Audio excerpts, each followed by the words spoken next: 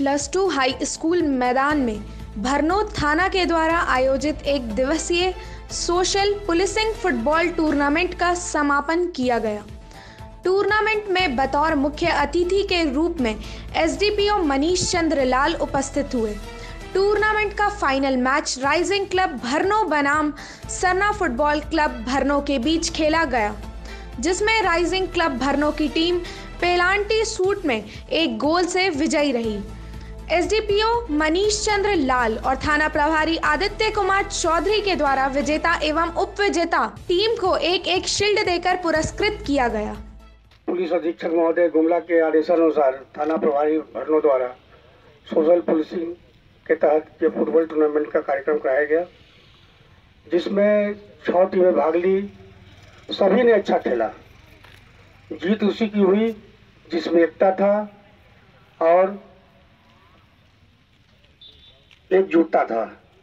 तो इसी एकजुटता और एकता में लेकर आप जिस कुरीति हमारे गाँव मोहल्लों में है, उसको दूर करने का प्रयास करेंगे। और जो भी दोनों टीमें जीती है, दोनों बहुत अच्छा खेली है। जो जीते हैं, उनको मैं बधाई देता हूँ। और हम चाहेंगे कि अगले राउंड में जो मैच हमारा गुमला जिला में होने वाला है, वहाँ पर क्वार्टर फाइनल, सेमीफाइनल और फाइनल होगा। तो दोनों टीमें बहुत अच्छी खेली है। दोनों टीम में बहुत ही तेज तजाद खिलाड़ियाँ हैं। ये सभी लोग दोनों मिलकर एक अच्छा टीम बनाए, जो जाकर गुमला में जीत का परचम लहराए और भरनों का नाम ऊँचा करे। हमारा ये सोशल पुलिसिंग के तहत ये जो कार्यक्रम करा रहे हैं, इससे हमारा मेन उद्देश्य है कि हमारे और आपके बीच में जो दूरियाँ हैं, वो दूरियाँ कम हो। हम पे आप विश्वास करें, हम भी आपके समाज से आए हुए हैं। आपकी जो भी समस्या है, वो रखें। गलत रास्ते पर ना जाए।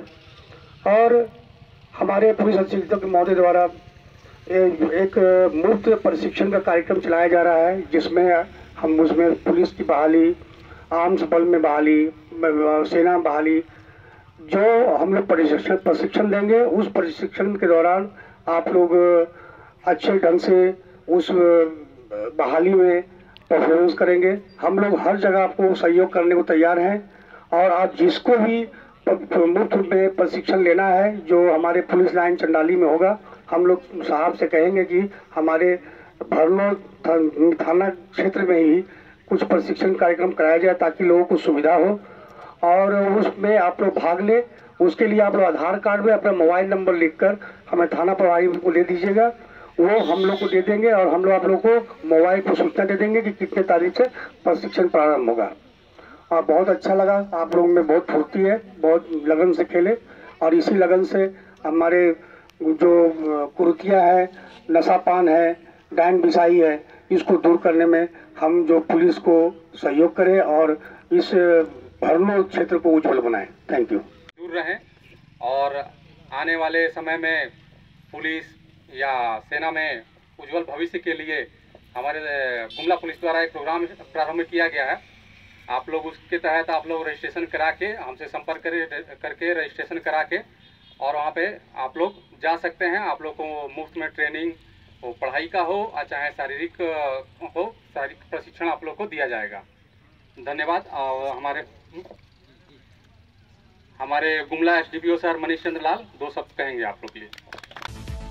अपने राज्य से जुड़ी हर ताज़ा खबरों के लिए आप हमें सब्सक्राइब करें साथ ही बेल आइकन बटन दबाना ना भूलें।